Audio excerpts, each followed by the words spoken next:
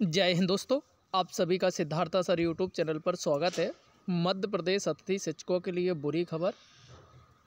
शिक्षा विभाग का आदेश जीएफएमएस पोर्टल से हटाने का आदेश जारी किया। सभी जिलों के अतिथि शिक्षकों को मैं पूरा एक परसेंटेज सॉरी हंड्रेड परसेंटेज आपको ये खबर मैं लेकर आया हूँ। ऑफिशियल नोटिफिकेशन है। तो चलिए आप वीडियो पूरा अंत तक देखिए।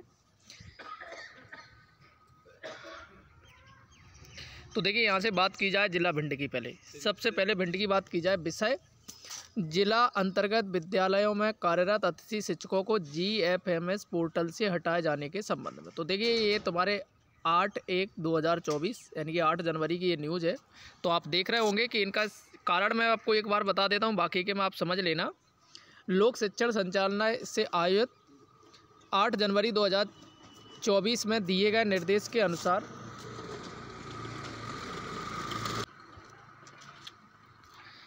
नवीन नियुक्ति उच्च परिवार या स्थानांतरण से यदि शिक्षक उपस्थित हो चुके हैं तो उस पद के विरुद्ध अतिथि शिक्षक को भी, अतिथि शिक्षक भी कार्यरत है। तो ऐसे अतिथि शिक्षकों को तत्काल G F M S portal से हटाए जाने की कार्रवाई सुनिश्चित करें।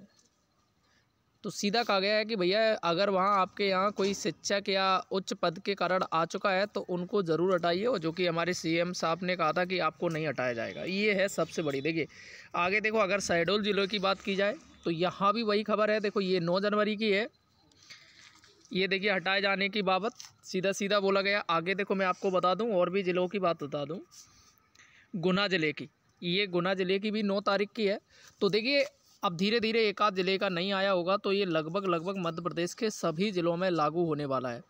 तो देखिए अब इसके लिए आप मेरे मानना तो ये है कि या तो धरना दीजिए या कैंपेन करिए तभी आपका ये पद बच सकता है नहीं तो आपको हटाया जाएगा।